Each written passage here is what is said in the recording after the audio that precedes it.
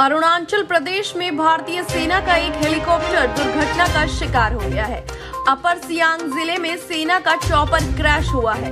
अब तक की जानकारी के मुताबिक आर्मी के इस रुद्र हेलीकॉप्टर में दो पायलट सवार थे।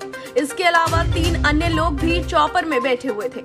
बताया जा रहा है कि रूटीन उड़ान पर इंडियन आर्मी का हेलीकॉप्टर उड़ा था।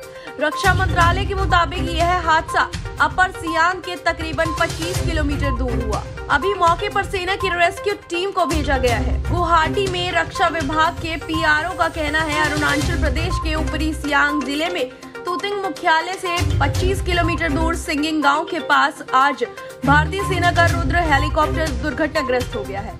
मौके पर रेस्क्यू टीम भेजी गई है। चिंता की बात यह है कि दुर्घटना स्थल काफ़ी दुर्गम इलाके में है।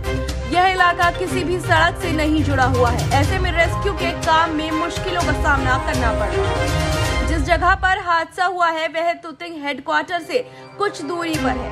क्रैश साइट का एक वीडियो भी सामने आया है, जिसमें पहाड़ी के पास से धुआँ उठता दिखाई दे रहा है। इससे पहले 5 अक्टूबर को अरुणाचल के तवांग इलाके के पास भारतीय वायुसेना का चीता हेलीकॉप्टर क्रैश हो गया था। हादसे में एक पायलट ने जान गंवा दी थी। हादसे के वक्त हेलीकॉप्टर में दो पायलट सवार थे।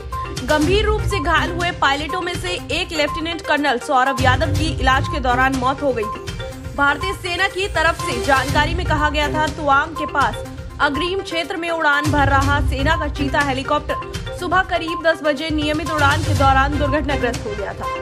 दोनों पायलटों को नजदीकी सैन्य अस्पताल में ले जाया गया। ऐसी ही तमाम खबरों से जुड़े रहने के लिए देखते रहिए यूवी इंडिया न्यूज़।